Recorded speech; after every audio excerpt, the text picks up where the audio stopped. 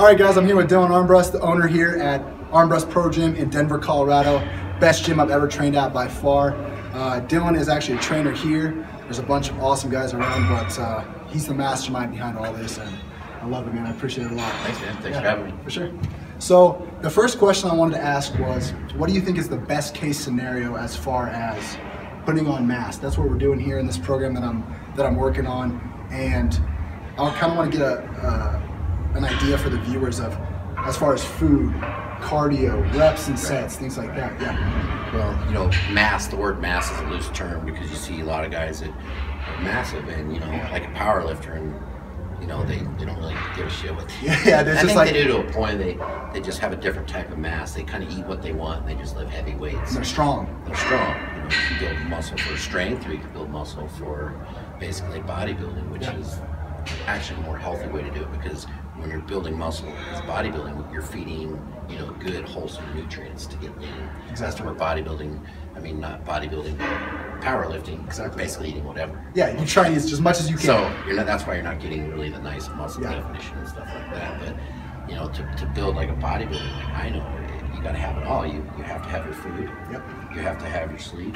You have to have your water, and you have to have you know just solid, good quality training. Yep. And if you put them all together, then you're going to go a lot further, a lot faster. If you're missing any one of those equations, it's gonna it's gonna set you back. Exactly. Yeah. Cool. So that kind of leads me to my next thing, which was how do you incorporate the things you've learned in bodybuilding, you know, the discipline and the hard work and the sacrifice and just dedication to, you know, one thing for years and years. How'd you take that and put it into your business and, and how'd you make it grow? Well, I wouldn't have known how to make my business grow if I didn't learn all those qualities of bodybuilding. Yeah. So I learned to work hard. You know, I, I learned that nothing happens overnight. I learned that I need to be persistent. You know, it's going to take years. So when I started my business, you know, I did it out of just pure passion to begin with. But you know, I just just building it every year, working hard every day.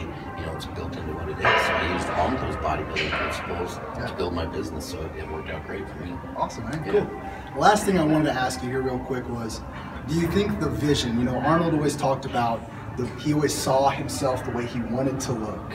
And he believed that if he could put that in his mind enough, that his brain would figure out a way to get there. You know, he was training three hours in the morning, three hours a night. Now people say that's overtraining. Um, how do you believe that the vision of what you want, do you think that's equally as important as the work you put in the vision itself? The vision is everything, you know, because anything you do in life, the body is going to follow the mind always. So Arnold put it perfectly to tell you the truth. Yeah. And Arnold trained his ass off, and I don't think anybody in their right mind is going to tell Arnold he overtrained Yeah.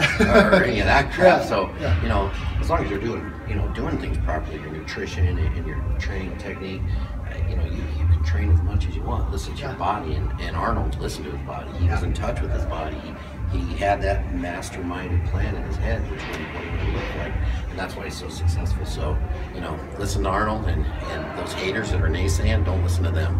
Yeah, exactly. There is Yeah. no such thing as overtraining, you know, and, and I feel like if you sleep enough, if you eat enough, if you train hard enough, you recover enough, uh, you take the right supplements, you, obviously food is number one Yeah. for recovery. And.